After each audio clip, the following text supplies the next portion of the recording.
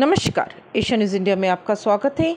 मैं प्रिया आपके साथ आइए देखते हैं देश विदेश के कुछ प्रमुख खबरें।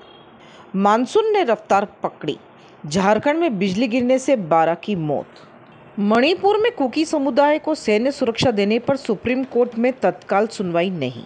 समुद्र में 12,500 फुट नीचे पड़े टाइटेनिक को देखने गए पाँच लोग लापता तलाश जारी। ओडिशा हादसे में रेलवे का कोई कर्मी फरार नहीं। जानकी रमन आरबीआई के डिप्टी गवर्नर नियुक्त। प्रधानमंत्री मोदी का चीन को संदेश, बोले, अब भारत का समय आ चुका है। चीनी साम्राज्य रोकने के लिए अमेरिका का सबसे बड़ा साझेदार बन सकता है भारत। मुंबई हमला लश्कर आतंकी को बचाने के लिए चीन ने फिर वीटो लगाया।